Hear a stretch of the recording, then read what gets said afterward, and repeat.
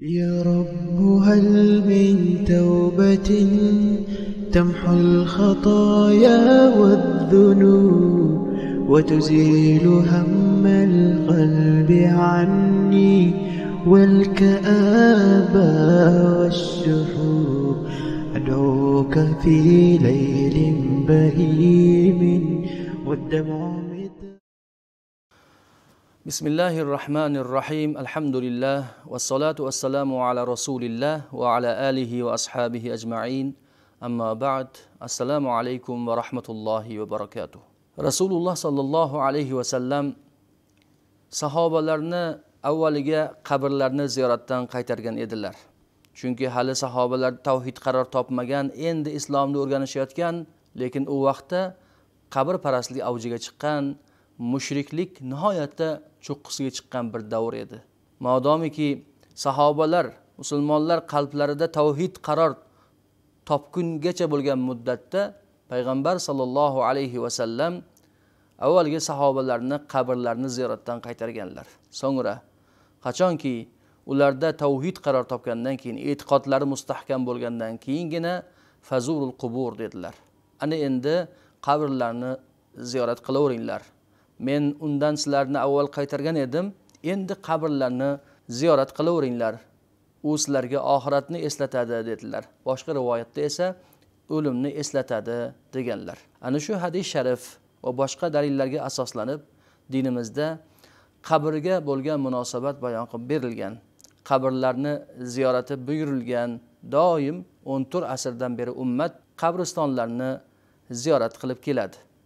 O'n to'rt asrdan beri ummat qabristonni ziyorat qilib hali shu vaqtgacha birortasi mushrik bo'lib ketmagan.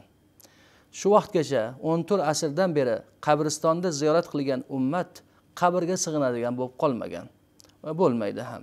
Bugun men sizlarga qilmoqchi bo'lgan bu darsimiz aslida bundan bir necha yil avval balki qilgan ma'ruzamizga bo'lgan e, qarshiliklar e'tirozlarga bir javob tariqasida izoh dars ma'nosida o'tmoqchimiz.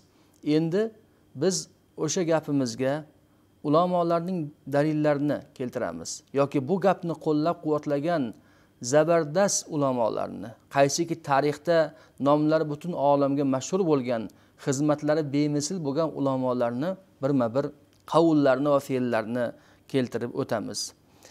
Biz o'shanda aytgan edikki aziz avliyolarning qabrlariga borganda motivatsiya bo'ladi degan so'zni ishlatganmiz. Ataylab bu so'zni bu endi zamonaviy so'z tushunarli bo'lishi uchun. Ammo tahqirlar kimlar tomonidan? Albatta ma'lum kimlar tomonidan bo'lishi tahqirlar bo'ldi. Noto'g'ri tushuntirishlar noto'g'ri tushunishlar go'yoki shirkka undash kabi ayblar bilan ayblovlar otildi. Biz sabr qildik.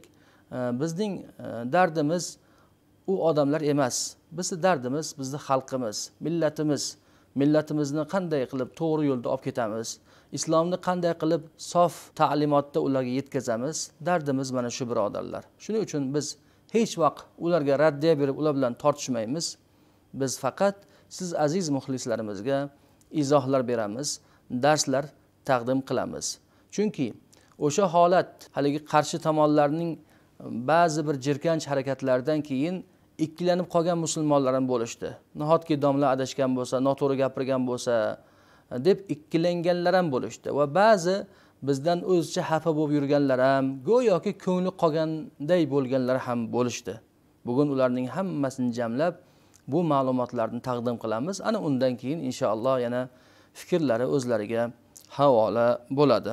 Qabristonlarni ayniqsa ulug' aziz avliyolarni qabrlariga borganda motivatsiya oladi deganimiz inson ruhlanadi. Borib ularni xotirga oladi ularning qilgan ishlarini esga oladi. Undan tashqari azizlar ulug'lar nomi zikr qilingan joyga allohning rahmati yog'ilishini hammamiz bilamiz. Hammamiz bilamiz. Biz boshqa dalillarni ham keltirgan edik hadis shariflardan. O'sha dalillardan birlarida payg'ambarimiz sollallohu alayhi vasallam allohning la'natiga uchragan yoki allohning g'azabiga uchragan qavmlar yashab o'tgan joyga kelganlarida sahobalarni tezlatib ketganlar. O'zlari ham sahobalarni tezlab bu joyda to'xtamaymiz ulardan yomonlik yetib qolmasin deb tezlashib ketgan hadisni keltirgan edik. Bekorga keltirmadik bu hadisni va aytgan edikki demak yomon qavmlar qaysiki allohning g'azabiga uchragan qavmlar yashab o'tgan joyga ham hatto to'xtamadilar payg'ambar alayhissalom va sahobalar. Tezroq o'tinglar sizlarga yomonlik yetishdan qo'rqaman dedilar.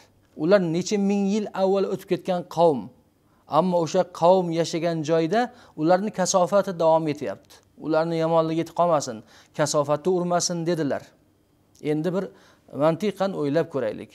Yomon qavmlar yashagan joyda ularning kasofati yomonligi asari davom etsa ulug'larimiz aziz avliyolarimizning marqatlari ular yashagan yo joy yoki dafn qilingan joyda allohning rahmati bo'lmaydimi? Yaxshilik bo'lmaydimi? Albatta bo'ladi. Qolaversa rasululloh sollallohu alayhi vasallam qabrlarni ziyoratiga buyurganlar. Payg'ambar alayhissalomdan bu sunnat bu buyruq bo'la turib kimning haddi sig'adi qabrni ziyoratdan qaytarishga? Yoki biz borib qabrga sig'inishga chaqirdikmi? Qabrga borib tavof qil qabrga yotib ol qabrga qarab namoz o'qi dedikmi? Billah min dalik biz odob bilan islomiy odob bilan qabrning ziyoratiga buyurganmiz. Chunki bu dinimizning demak ta'limoti.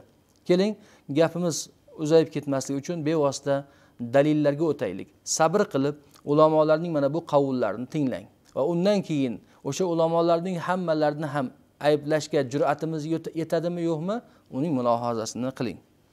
Imom navaviy rahimaulloh o'zlarining mashhur azkar al azkar asarlarida bir yuz qirq ikkinchi e, sahifa dorul fikrda bosilgan kitobning bir yuz qirq ikkinchi sahifasida aytyaptilar. Qabrlarni ko'p ziyorat qilish mustahabdir deyaptilar. Va xuddi shunday ahlul xayr va fazlning aziz avliyolarning qabrlari huzurida ko'p vuquf qilish mustahabdir ko'p borganda ko'proq e, turish mustahab deyapti. Imom navaviy shofiiy mazhabining eng yirik ulamosi muhaddis faqih rahimaullohning qavlini qarang. U zotning mazkur al azkar asarlarining bir yuz qirq ikkinchi sahifasida bu gaplar keltirildi. Ziyoratni ko'paytirish mustahab bo'ladi va hatto ahli xayr va ahli fazl bo'lgan ulamolar aziz avliyolarning qabrini tepasida uzoq muddat turish ham mustahab bo'ladi. Alloma ibnul jazariy rahimaulloh o'zlarining bu kishi al hisn hasin yoki abu hisn husayn yoki al hasin bu duolar qamrab olingan asarlarda bu ana shu asarning sohiblari aytadilarki va jurriba istijabatu duo inda quburi solihin solihlarning qabri tepasida duoni ijobat qilinishi tajriba qilingan undur tuhfatu zokirin tuhfatu zokirin kitobiga qara. Bu kitobning sohibi imom shavkoniy. Imom shavkoniyning tuhfatu zokirin kitobini yetmish to'rtinchi sahifasida dorul qalamda bosilgan. Yetmish to'rtinchi sahifasida shu gap keltirildi. Imom shavkoniydan va ibnul jazariydan bu gap keltirilyapti. Nima ekan? Solihlarning aziz avliyolarning qabrida e, tepasida duo ijobatdir va bu tajriba qilingan. Qola ibnul javziy rahimaulloh aytyaptilar o'zlarining e, hayotlaridan keltiradilarki bir vaqti zamonda kasalligim kuchayib ketdi. Kasalligimdan ingrab o'zimga o'zim davo qilishdan tib qilishdan ojiz qoldim. Shunda solihlarni qabrlariga borib yalinib yolvorib ya'niki iltijo qildim deyapti. Solihlarning qabriga borib e, falajatu ila quburi solihin va tavassaltu fi silahi aw salahi borib o'zimning tuzalishim sog'ayishim bo'yicha tavassul qildim. Alloh subhanahu va taolo mavloyim menga lutf qildi va bundan va mening qalbimda menga salomat qaytarib berdi degan mazmunda gaplarini soydul xotir kitoblarida keltiryaptilar. Yana qaraymiz imomlarimizning gaplariga. Jumladan imomi molik rahimaulloh mashhur muvatto asarlarida abdulloh ibn dinordan u kishi esa abdulloh ibn umar ibn xattob roziyallohu anhudan keltirganlar. Abdulloh ibn umar ibn xattob roziyallohu anhu mashhur sahoba biron bir safarga ketmoqchi bo'lsalar ham safardan qaytganlaridan keyin ham rasululloh sollallohu alayhi vasallamning qabri shariflariga borar ekanlarda salom berib so'ngra salovat aytib duo qilar ekanlar. Mana shunday odatlarni kanda qilmas ekanlar. Safarga chiqishdan avval ham safardan qaytganlaridan keyin ham e, ravzai sharifga borib payg'ambar alayhissalomga salom berar ekanlar salovat aytar ekanlar duo qilib safarga ketar ekanlar. Safardan kelganlaridan keyin ham avval rasulullohga salom berib salovat aytib duo qilib uylariga kirar ekanlar. Buyuk sahobiyning bu odatini e, eshitib ham ana o'sha zot abdulloh ibn umar roziyallohu anhumoni qabrparast deyishga jur'ati yetadigan odam bo'lsa biz yana ham hayron qolamiz xuddi shunday التعليق الممجد على موطأ الإمام محمد asariga qarang deyilyapti bu asar imom e, molikning muvattosiga qilingan sharhdir bu sharhni imom muhammad ibn hasan ash shaybaniy tomonidan rivoyat qilingan imom al hofiz shayx muhammad abdulhay laknaviy sharh qilganlar shuning uchun yuqorida e, imom muhammad ya'niki muhammad abdulhay laknaviy rahimaulloh aytdilarki وهكذا ينبغي أن يفعله إذا قدم المدينة يأتي قبر النبي عليه الصلاة والسلام عبد الله ibn umar ibn xattob roziyallohu anhu doimo mana shu ishni qilardilar demak har bir kishiga ham lozim bo'ladi madina munavvara kelganlarida payg'ambar alayhissalomning qabrlariga kelib mana shu ishni qilishlari deganlar demak bu gapni at taliqul mumajjad ala muvattoi imami muhammad eh, asarida topishingiz mumkin. Imom molik rahimaulloh xalifa abu jafar al mansurga mm, qarata aytgan gaplari qaysiki xalifa haj qilib hajdan so'ng madina munavvaraga kelib payg'ambarimiz sollallohu alayhi vasallamning qabrlarini ziyorat qilayotganlarida imom Malikdan so'ragan ekanlar. Ya abu abdillah ey abu abdulloh imom molikning kunyalari. Qiblaga qarab yuzlanaymi yoki rasululloh sollallohu alayhi vasallamga qarab yuzlanaymi duo qilayotganimda deb so'radilar. Shunda imom molikning gaplarini eshiting. Valima tasrifu vajhaka anhu va huwa vasilatuka va vasilatu abika adam alayhi salatu vassalam ilallohi taala yawmal qiyama. Bal istaqbilhu vastashfi bihi fayushaffi'ahu Allohu bu gapni shifoi sharifda e, ikkinchi jildi qirq ikkinchi sahifasida keltiribdilar. Imom molik shunda xalifa jafarga e, aytgan ekanlarki abu jafar mansurga nima uchun yuzingni u zotdan burasan?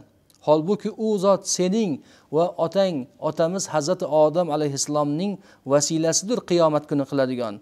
Balki u zotga yuzlangin. va u zotdan shafoat qilishlarini so'ra alloh taolo seni shafoat qiladi degan ekanlar imomi molik فوا عجبا ممن يمنع استقبال القبر الشريف للدعاء ويقول هذه بدعة نعوذ بالله من خذلان qandayam ajabki endi kimki payg'ambar sollallohu alayhi vasallamning qabrlariga yuzlanib orqani qiblaga qaratib yuz bilan payg'ambar alayhissalomning qabrlariga qarab duo qilishlikni bid'at desa bulardan vo ajab ajablanamiz.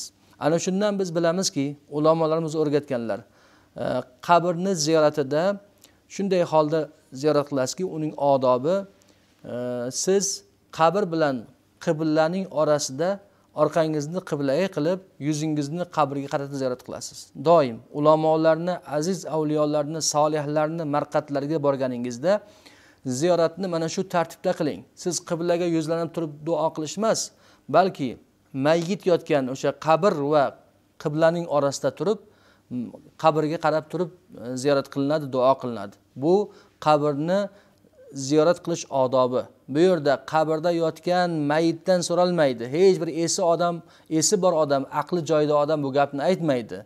Balki o'sha aziz avliyoni tavassul qilish bor bu yerda yoki aziz avliyoning marqadiga tushayotgan allohning rahmatiga sho'ng'ish bor e, va hokazo.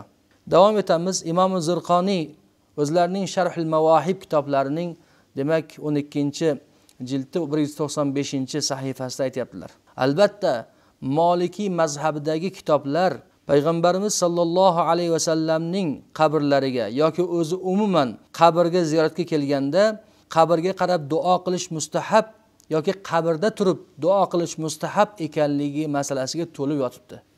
Qabristonga borganda yoki qabrga aziz avliyoning qabriga borganda duo qilish mustahab ekanligi haqidagi masalalar molikiy mazhabining kitoblarida to'lib yotibdi. Endi bunga hujjat keltiryaptilar abul hasan qobisiy va abu bakr ibn abdurahmon va allama halil o'zlarining minsaklarida va naqalahu fi shifa shifoi sharifda ham naql qilyaptilar ibn vahbdan u kishi molikdan qol aytdilarki إذا سلم على النبي صلى الله عليه وسلم ودعا يقف ووجهه إلى القبر لا إلى القبلة vayadnu va yusallimu alayhi intaha imom molikning gaplarini keltirdilar. Payg'ambar sollallohu alayhi vasallamga salom berganda o'sha joyda turadi yuzi qabrga qaragan holda. La ilal qibla qiblaga qarab emas balki qabr sharifga qarab turgan holda duo qiladi. So'ngra yaqinlashadi va u zotga salom beradi dedilar imom molik rahimaullohu taala. Ubaydulloh ibn abdulloh ibn utbadan keltirilyapti. U kishi aytyaptilar usoma ibn zayd roziyallohu anhuni oysha roziyallohu anhoning hujrasini huzurda oldida ko'rdim. Yadu duo qilar edi.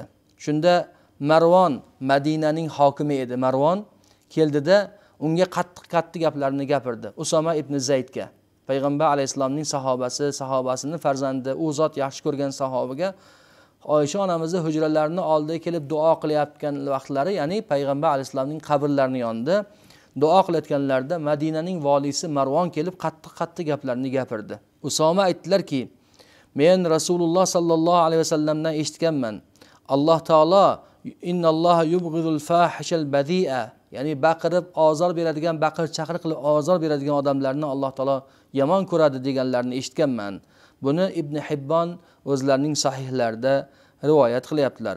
Va diyoul maqdisiy hasan deganlar bu rivoyatni o'zlarining muxtoralarida haysamiy esa aytganlarki imom ahmad va tabaroniylar buni kabirda val avsatda sanatlari bilan rivoyat qilganlar. Imomi tabaroniyning sanatlarining birida rijollari siqotdir deyiladi. Ya'ni sanatda kelgan roviylarning hammasi ishonchli ekanligini aytganlar. Bu yerdagi usoma ibn zaydday sahobani payg'ambar sollallohu alayhi vasallamning qabrlarini yonida yoki e, oysha onamizni hujrasini oldida duo qilayotganligi payg'ambar alayhissalomning qabrlariga qarab duo qilayotganligini bildiradi. Marvon shuni tanqid qilganda marvonga haligi javobni berganlar. Rasulullohni sahobalari shu ishni qilyapti. Imomi dorimiy rahimaulloh e, roviylari ishonchli bo'lgan san'at bilan abul javzo avs ibn abdullohdan rivoyat qilyaptilar. Qol madina ahliga qahatchilik keldi. Qattiq qahatchilik bo'ldi madina munavvarada. Ular hazrati oysha onamiz roziyallohu anhoga shikoyat qildilar. Shunda saida oysha roziyallohu anhu onamiz aytdilarki unzuru qabron nabiyyi sollallohu alayhi vasallam faj'alu minhu kivan ila samai hatta la yakuna baynahu bayna samai saqfun nabiy alayhissalomning qabrlariga qaranglar. Qabrni tepasidan osmonga bir tuynik ochib qo'yinglar bir darcha ochib qo'yinglar. Hatto u zot bilan osmon orasida to'siq bo'lmasin bir ochiq joy bo'lsin. Oysha onamizning tavsiyalari. Qola fafaalu shunday qilgan edilar. Famutirna matran hatta nabatal ushb va saminatil ibil hatta tafattaqat minal shahm fasummiya amal fatq shu qadar qattiq yomg'ir yog'diki o't o'lanlar o'sib chiqdi tuyalar semirib hatto mollar semirgandan yorila boshladi o'sha yog'lari ko'payganligidan. O'sha yilni omil fatq yorilish yili deb haligi mol semirib ketib e, dumba tomonidan yoriladi qo'ylar masalan yoki tuyalar. Shunga o'xshab yorilish yili xayr baraka yili deb nomlandi deganlar. Bu holat bizga tanish birodarlar. Agar e'tibor qilgan bo'lsangiz yashil ko'k gumbazning tepasida payg'ambar alayhissalomning demak qabrlarini tepasida gumbazni gumbazda bir narsa bor osilib turadi. Odamlarda savol tug'iladi. U nima ekanligi haqida. O'sha joy o'sha joy darchaning o'rni. O'sha yerdan darcha ochilgan. Ya'ni osmon bilan payg'ambar alayhissalomni orasida biron bir shift bo'lmasin to'siq bo'lmasin degan ma'noda darcha bor. Darcha yo yopib qo'yiladi yo ochib qo'yiladi. Agar qahatchilik bo'lganda o'sha darcha tortib ochib qo'yiladi. Shunda rasul alayhissalom bilan osmon orasi ochilib yomg'ir yog'adi degan musulmonlarning chiroyli go'zal bir odatlari bor. Hazrati oysha onamizdan sunnatlari bor. Inshaalloh karim buni e, ekranda lavhasini ko'rsatamiz. Yana ham ayon bo'lishi uchun. Imom dorimiy bu rivoyatni sayyida oysha roziyallohu anhodan rivoyat qilib keltirganlarida tahta unvan. Qayerda aytyaptilar? Babu ma akramallohu taala nabiyahu sollallohu alayhi vasallam ba'da mavtihi. alloh taolo payg'ambar sollallohu alayhi vasallamning vafotlaridan keyin u zotni ikrom qilganlar degan bobning tagida bu rivoyatni imom dorimiy keltirgan ekanlar abu nuaym ma'rifati sahaba kitoblarida talha ibn ubaydulloh roziyallohu anhuning tarjimai holida keltiradilar حدثنا عبد الله بن محمد ثناء أبو بكر بن أبي عاصم قاد قال قد رأيت جماعة من أهل العلم والفضل إذا هم أحدهم بأمر قصد إلى قبره فسلم عليه فدعا بحضرته فيكاد يعرف الإجابة وأخبرنا مشايخنا به قديما أنهم رأوا من كان قبلهم يفعله rivoyatni keltiryaptilarda men bir jamoa ahli ilm ahli fazl solih kishilarni ko'rdim agar ularning biriga biron bir ish voqe bo'lib qattiq ish mushkulasi hosil bo'lsa u qasd qilib kelib payg'ambar alayhissalomni qabrlarini qasd qilib kelardi va salom berardi va o'sha joyda turib duo qilardi. So'ngra duosini ijobat bo'lganini o'zi ham guvohiga aylanardi. Bizga mashoyihlarimiz xabar beradilarki qadimdan biz ham bizdan oldingilarni ana shunday ish qilganlarni ko'rganmiz deganlar. Ya'ni boshiga bir mushkul tushganda qasd qilib kelib payg'ambar alayhissalomga salom berib duo qilganlari qabr oldida. So'ngra mushkulasi oson bo'lganligi haqida biz oldingi o'zimizdan oldin o'tgan zotlarni ko'rganmiz deb rivoyat qilyaptilar. Yaqul imom zahabiy fi siyari a'lamin nubala kitoblarida e, keltiryaptilar. Sayyida nafisa roziyallohu anhoning tarjimai holida.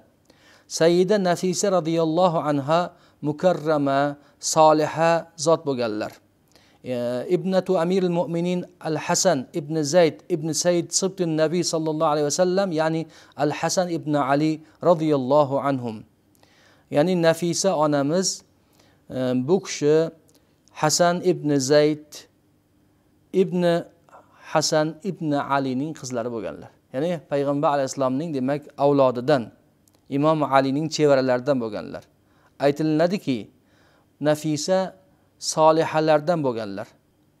Va u nafisaning qabrida duo mustajobdir. Va xuddi shunday ambiyolar va solihlarning qabrlarida ham duo ijobatdir. O'sha qabrga o'sha joyga borilganda.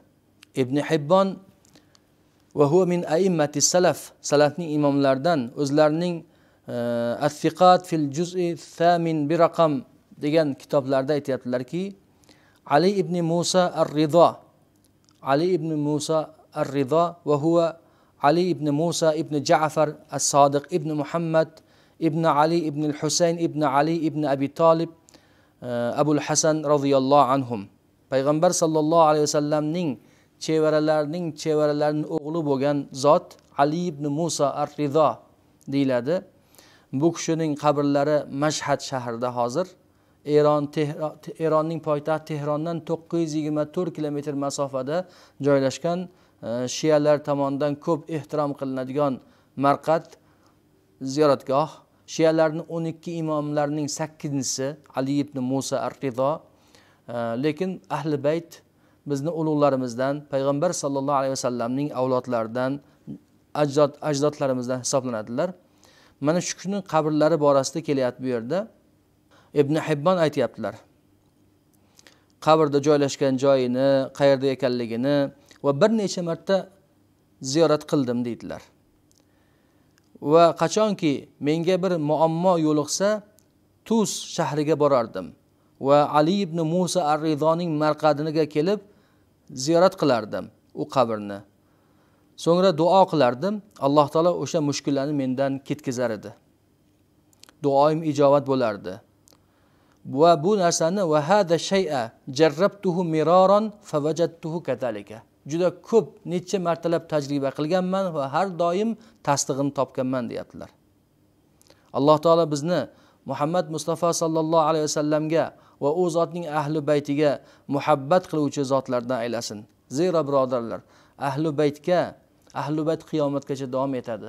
Ahli baytga muhabbat qilish bu har bir musulmonga allohni rob deb payg'ambar alayhissalom nabiy deb kitobni qur'onni kitob e, ilohiy kitob deb e'tiqod qiladigan har bir musulmonga vojibdir buni aslo unutmaylik قال الحافظ ابن حجر أسقلاني في تهذيب التهذيب تهذيب التهذيب asarlarida aytyaptilar وقال الحاكم في تاريخ نيسابور نيسابور tarixida imom hokim aytyaptilar سمعت أبا بكر محمد ابن مؤمل ابن الحسن ابن عيسى يقول bu kishini eshitdim aytar edi خرجنا مع إمام أهل الحديث أبي بكر ابن خزيمة وعديله أبي علي الثقفي ahli hadislarning imomi yoki hadis ahlining imomi abu bakr ibn huzayma va u kishining bojalari abu ali as saqafiy bilan birga chiqdik va bir qancha mashoyihlar ham bor وهم إذ ذاك متوافرون إلى زيارة قبر علي بن موسى الرضا بطوس. ularni hammasi ali ibn muso ar rizo roziyallohu anhuni qabrlarini ziyoratiga otlangan edik otlangan edilar فرأيت من تعظيمه يعني ابن خزيمة لتلك البقعة وتواضعه لها وتضرعه عندها ما تحيرنا.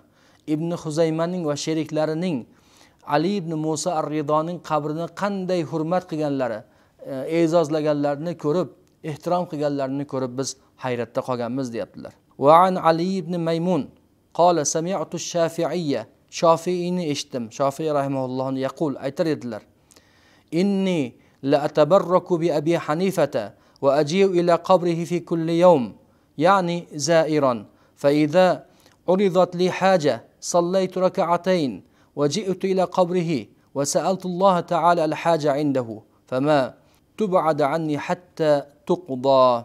تاريخ بغداد أخبار أبي حنيفة وأصحابه الطبقات الثانية في تراجم الحنفية أثر الأرداء آه، علي بن ميموندان كيلتر ليبت إمام الشافعي رحمة الله عليه بغداد كسفر خيال الأرداء.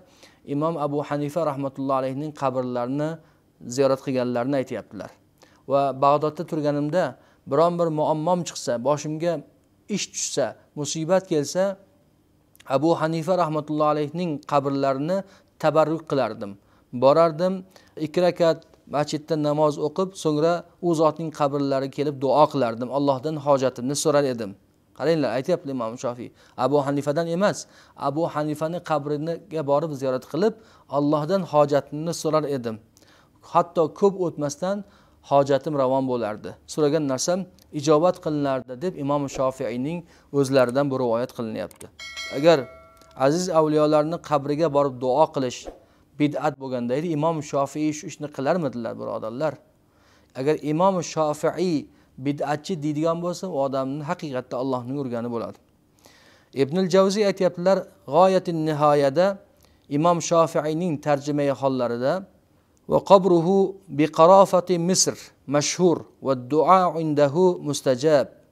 ولما زرته قلت زرت الإمام الشافعي لأن ذلك نافعي لأنال منه شفاعة أكرم به أكرم به من شافعي. يعني بيتلرنا aytganlar ibnul jazariy aytyaptilarki g'oyatun nihoya asarlarida imom shofiyning tarjimai hollarini keltirib imom shofaiyning qabrlari misr shahrida al qarofa qarofa shaklida qurilgan. Qarofa deb e, misrda maqbara qilib qurishga aytiladi qabrni. Misrlar buni arafa deydi. Misr lahjasida arofa deydi. E, o'zi fushada esa al qarofa deyiladi. Al qarofa misriylar al arafa deydi. Mayitni dafn qilganda qarofa usuli degani maqbara qilib qurish. Imom shofiy rahmatullohi alayhni misrdagi qabri xuddi shunday qarofa shaklida qurilgan marqat ya'ni maqbara shaklida qurilgan. U zotning e, maqbarasida duoni ijobat bo'lishi e, mashhurdir deyapti roviy ibn jazariy va men e, bir marta ziyorat qilganimda mana bu baytlarni aytganman deb baytini aytib o'tdilar. Imom shofiyni ziyorat qildim chunki mana shu yerda xayrlik manfaatli ish bor. U zotning shafoatiga erishish uchun e, va u zotning shafoati mening shafootimdan ko'ra akramliroq karamliroq degan mazmunda baytlarni aytgan ekanlar ibnul jazariy imom shofiyni qabrlarini tepasida. Vaqol hafiz zahabiy sera alamin nubalada keltiryaptilar ma'ruf al karxiyning tarjimai hollarida. Ma'ruf karxiyni bilasizlar birodarlar. Bu kishi naqshbandiya tariqati silsilasida san'atni yuqorisida turadigan aziz avliyolardan ma'ruf al karxiy karomati zohir bo'lgan peshvo avliyo avliyozod bo'lganlar. E, alamun nubalada hofiz zahabiy ma'ruf karxiy tarjimai hollarida keltiryaptilar. Va ibrohim al harbiydan qol qobru ma'ruf at triyaqul mujarraf degan gapni. Ma'rufning qabri tajriba qilingan dorivordir ya'ni e, tiryoq deb bilsalaringiz tibbda ishlatiladi. Tiryoq degani e, bir dardga davoligi ma'lum bo'lgan bir dori. Ya'niki davoligi ma'lum bo'lgan dori tiryoq. Shu gap mashhur ekan. Ma'rufning qabri tajribadan o'tgan tiryoqdir degan gap ya'ni davodir degan gaplari mashhur bo'lganligini keltiryaptilar. yana hofiz zahabiy bu gapning orqasidan ikkinchi gaplarni keltiryaptilar yuridu ijabata duoil muftarri indahu لأن البقاع المباركة يستجاب عندها الدعاء كما أن الدعاء في السحر مرجو ودبر المكتوبات وفي المساجد boshiga ish tushib qiynalib turgan odam duosini ijobat bo'lishini e, xohlasa e, bu muborak joyga maskanga keladi va albatta duosi o'sha maskanda qabul qilinadi. Xuddi sahar vaqtida qilingan duolarni qabul bo'lishidan farz namozlarning so'ngida qilingan duolarni qabul bo'lishidan masjidlarda qilingan duolarni qabul bo'lishidan umid qilingandek ma'ruf karxiyning qabrida ham duoni ijobat bo'lishidan umid qilinadi. Marjuvu deb keltirilyaptilar. Kanal imomul muhamiliy imom muhamiliy aytar edilar yaqul ma'ruf karxiyning qabrlarini bilaman yetmish yildan beri.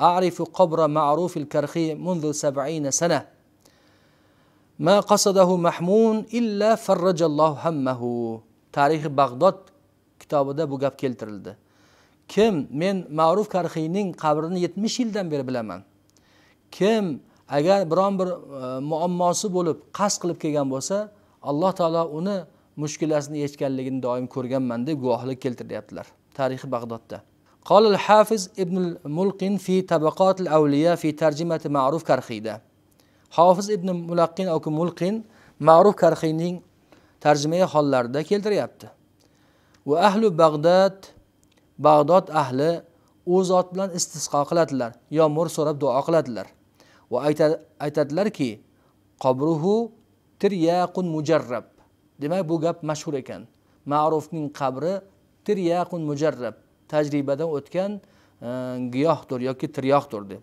Qola abu abdurahmon zuhriy qobruhu ma'rufun liqadoil havajid havaij ma'rufning qabri hojatlarni yechilishi uchun ma'rufdir ma'lumdir. Aytilinadiki annahu man qara indahu mi'a marra qul huvallohu ahad va sa'alalloha ma yurid qudiya hajatuhu.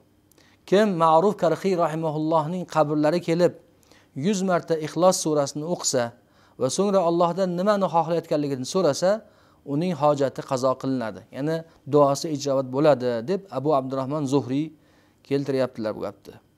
Ho'p bu gapga o'xshash gaplar e, xuddi shunday e, bir qancha ulug'larning qabrlari borasida ham keladi. Masalan ashhab ibnul qosim sohiba imom molik imom molikning sohiblari ikkovlari madfunan fi mashhad vahid bitta joyda dafn qilinganlar misrcha maqbara shaklida.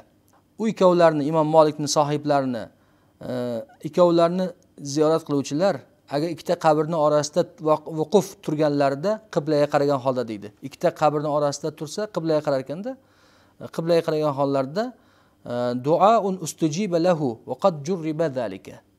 Duosi ijobatdir va bu tajriba qilingandir.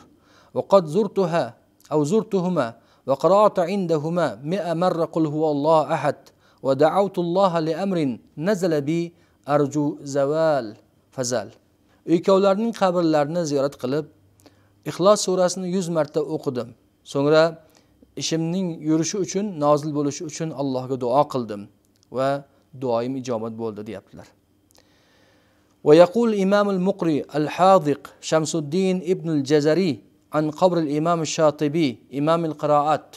قراءات إمام لاردان شاطبين قبر براستة آه، شمس الدين ابن الجزري أتكلرن كلتر يبتلر مقرئ الحازق.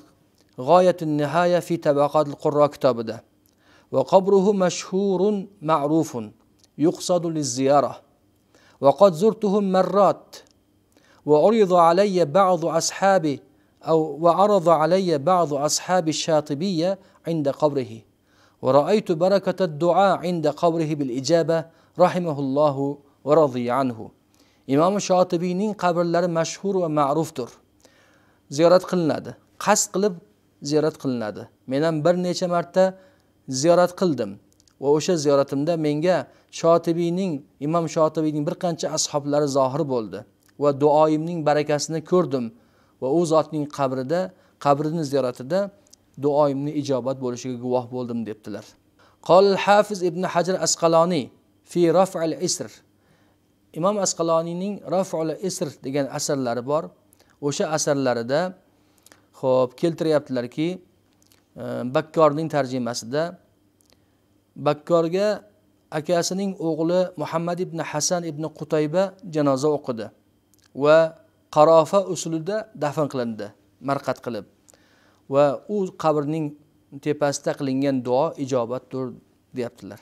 Imom sahoviy في في الضوء اللامع في ترجمة علي بن أحمد أبي الحسن الآدمي ده aytyaptilarki دفن في القرافة بالقرب من تربة التاج ابن عطاء الله سكندري وتأسف الناس عليه ويقال أن الدعاء عند قبره مستجاب demak ali ibn ahmad abul hasan adamiy ibn atoulloh sakandariyning qabrlariga yaqin joyda qarofa uslubida marqat qilish uslubida dafn qilinganlar va u zotning huzurida duo ijobatdir.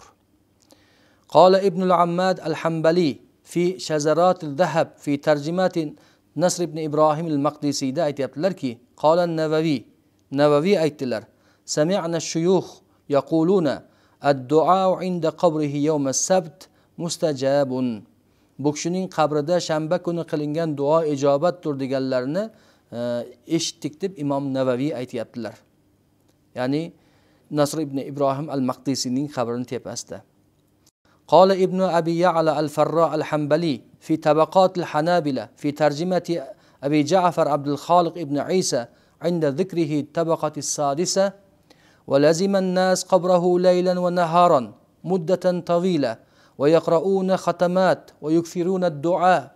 ولقد بلغني أنه ختم على قبره من مدة الشهور ألوف ختمات وكثرة المنامات من الصالحين بالرؤيا الصالحة. ibn abi yalo al farro hambaliy tabaqot hanobila asarida abu jafar abdurrazoq ibn isoning tarjimai holida aytyaptilar odamlar u zotning qabrini kechayu kunduz lozim ko'radilar ziyoratga va xatmlar qiladilar duolarni ko'paytiradilar.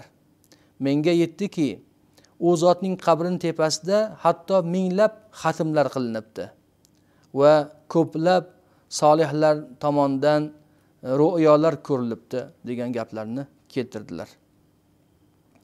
So'zimizning oxirida yana faida fi qabril imom buxoriy imomi buxoriy rahimaullohning qabrlarida bo'lgan holat to'g'risida bir foyda sifatida keltirilyapti bu xabar. Qola ibn bashkuval. Ibn bashkuval katta e, olim bo'lganlar. Ibn bashkuval.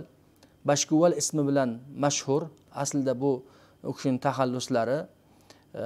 Ellikdan ortiq kitob yozganlar. Eng mashhur asarlari as sila degan asarlari mashhur. Ibn bashkuval rahimaulloh o'zlarining sila degan asarlarida nasr ibn muhammad ibn abdul malik haqida tarjimai hol keltiryaptilar nasr ibn muhammad ibn abdul malik bu qurtuba andalusiyaning amirlaridan bo'lganlar أخبرنا القاضي الشهيد أبو عبد الله محمد بن أحمد رحمه الله قراءة عليه وأنا أسمع قال aytyaptilarki qozi shahid abu abdulloh muhammad ibn ahmad rahimaulloh xabar beryaptilar. Va xuddi shunda ali ibn abi e, ali hasan ibn muhammad g'assoniy u kishi aytyaptilar. Menga xabar berdi abul hasan tohir ibn mafuz val muafiriy qola aytyaptilarki ana men abul fath va abul lays nasr ibn al hasan tankiti al muqim bi samarqand samarqandda yashardim.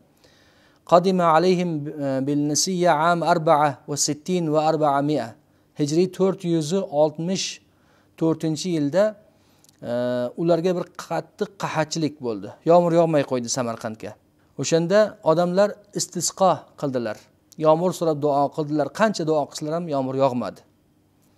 Bir solih banda ma'ruf o'zining salohiyati bilan ma'ruf bo'lgan bir solih banda qozining huzuriga samarqand qozining huzuriga keldida men roaytu ro'yan ariduhu alayk.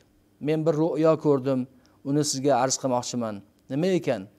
Siz va butun samarqand ahli xartangdagi imomul buxoriyning qabriga chiqingizlar. O'sha yerda istisqo qilinglar. Alloh taolo yomg'ir yog'diradi. Samarqand qozisi u solih bandani hurmat qilar yaxshi tanir. Gaplarga ishonib ergashib butun ahl bilan xartangga chiqildi. Holbuki xartang samarqanddan unchalik uzoq emas. Uch farsax deyilyapti o'sha hisobda.